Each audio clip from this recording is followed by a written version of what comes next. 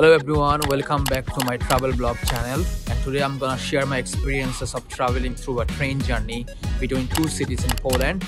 I recently traveled from Poznan to Warsaw, the capital city of Poland. So I'm gonna share my experience and the train journey I had and I'm gonna give you a review as well. So although the train came a bit late, the cleanliness and the spaciousness and comfortability of the train made up for it. This staff was really friendly. Everyone spoke English. That's a surprise for me because in, normally on the train, staffs don't quite speak English. They even announce things in Polish, but on this train, particular on this train, they were speaking in English, announcing things in English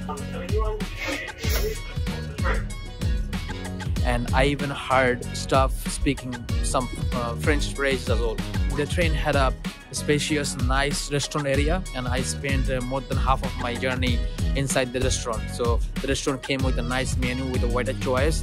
You could have a Polish traditional food as well as uh, desserts uh, and uh, of course beverages beer and wine uh, tea and coffee as well uh, the hospitality the art of hospitality is quite unfound in poland it's not the strongest suit of poland but on this train the staff was comparatively better although they lacked the smile you can find in some other parts of the hospitality in rest cultures. But uh, i overall give this train journey 7 out of 10 uh, because of the cleanliness uh, comfortability and the staff speaking the multiple languages. And uh, what else? I mean overall you can also see the countryside of poland through your uh, window.